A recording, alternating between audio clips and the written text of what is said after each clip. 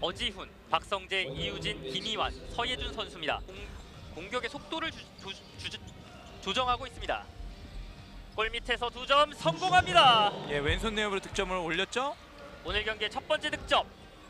예, 윤여찬 떴기 때문에 예, 심판이 바로 호각을 불었습니다. 정확히 심판이 보고 있었습니다. 골 밑에서 두 점 올려놓습니다. 스코어 4대 0. 예, 장석준 이후에 마지막 1쿼터를 마무리해야 되고 지금 오리온스는 디펜스를 해야 되는 상황입니다. 어렵게 쐈고 꽂혔습니다. 7.8초면 한 번을 예, 성공. 경기력이 올라갈 것 같습니다. 이 쿼터 시작 고양 오리온부터 시작합니다. middle range jumper bank shot 성공합니다. 예, 이 쿼터 출발이 좋네. 오리온의 반격 준비. 윙에서 안쪽까지 들어왔습니다. 던졌습니다. 들어 우중간 쐈습니다. 공격 리바운드. 이강이 살짝 건네줍니다. 그리고 외곽슛 성공합니다.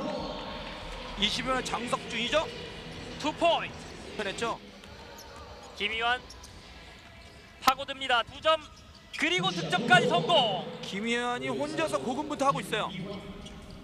이 김희환의 고군분투였다 전반전은 예. 그렇게 볼 수 있고 전에 예, K- 좋았던 패스를 한번 살렸으면 하는 아쉬움이 있습니다. 안쪽으로 파고들었고 두 점을 가볍게 성공합니다. 14대 9의 스코어. 예, 윤여찬의 빠른 스크린 이용. 안쪽으로 밀어 넣어줬고 middle range jumper 성공합니다. elbow 근처 그대로 들어갑니다. 어느 정도 골 밑에 안정감을 가지고 있기 때문에 KGC가 좋은 성적을 거뒀고 오세훈 선수가 없을 때는 또 다시 김희환 이어봤습니다. 다시 top 근처 파고듭니다. 두점 놓습니다. 소년우 예, 전반전에 이어